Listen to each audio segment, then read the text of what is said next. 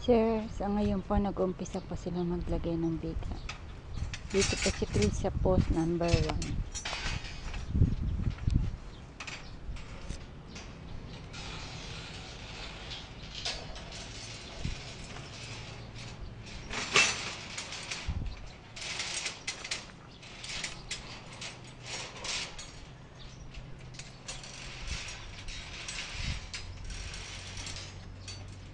Taas mo.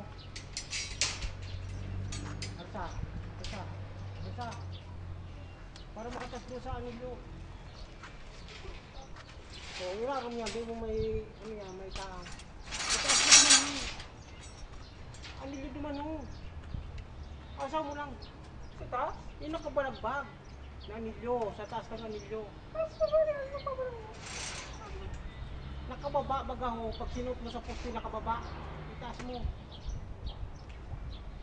Itaas mo lang. Ito po ang post itaas mo number lang. 2. Oh, eh, itaas mo duman ho.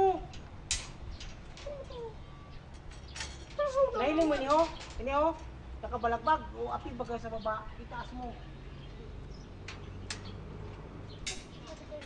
Itaas mo pa, itaas pa. Sige, itaas. Sige. Itaas pa.